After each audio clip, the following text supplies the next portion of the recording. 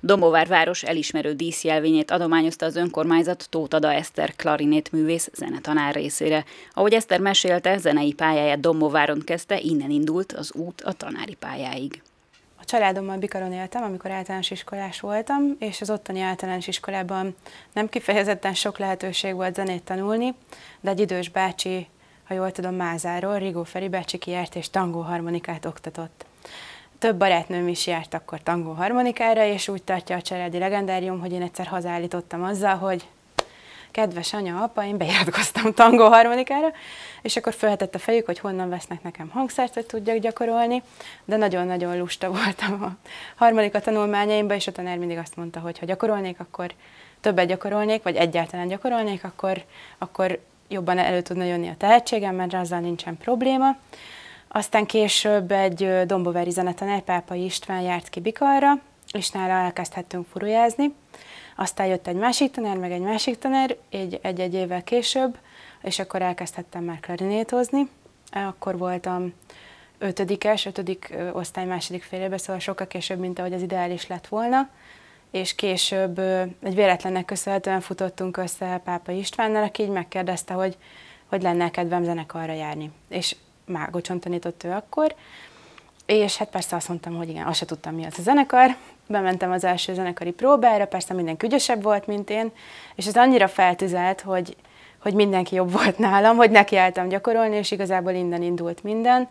És amikor a hetedik osztályt kezdtem meg, akkor előtte nyáron ő már javasolta, hogy váltsak iskolát, jöjjek el Dombovára, járjak az itteni zeneiskolába, meg az akkori Molnár György általános iskola énekzenetagozatára, és akkor abba a két évben olyan intenzív munkát tudtunk végezni, hogy felvételt nyertem Pécsre a Művészeti Szakgimnáziumba, onnan pedig Szegedre a Szegedi Tudományegyetem Zeneművészeti Főiskolai Karára, ahol 2006-ban klarinétanárkamara művész diplomával sétáltam ki. És rögtön ebben az évben alkalmazott is a régi alma úgyhogy ide, akkor kerültem ide Dombovára.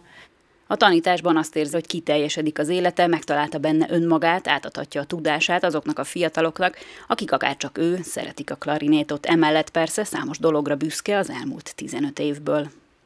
A legnagyobb siker számomra az, hogy megtaláltam azt, amiben igazán jó lehetek, és ez a, a zenetanítás. Talán egy kicsit örököltem a nagymamámtól is, aki legendás tanítónő volt Bikalon, így a pedagógusi részt, aztán azt, hogy a a zene szeretete honnan jött, fogalmam sincs, mert senki nem játszik a családunkban hangszeren. Szakmai téren egy pesgőiskolát sikerül működtetnünk, aminek ö, idén van a 11. éve, hogy a vezetőségében dolgozok. Ugye 10 évig voltam tagintézményvezető, az idei tanévtől tagintézményvezető helyettes. Vannak saját nagy rendezvényeink, egy nagy regionális rendezvényünk, van egy nagy országos rendezvényünk is, sok hagyományt sikerült megőriznünk az 1965-ös indulástól kezdve, de új hagyományokat is teremtettünk.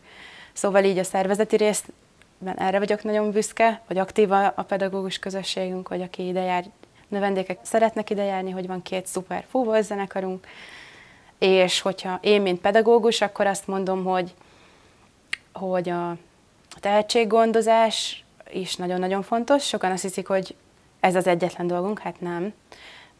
De büszke vagyok rá, hogy eddig hét növendéket sikerült pályára irányítanom, öt klarinétos és két szakszofonos.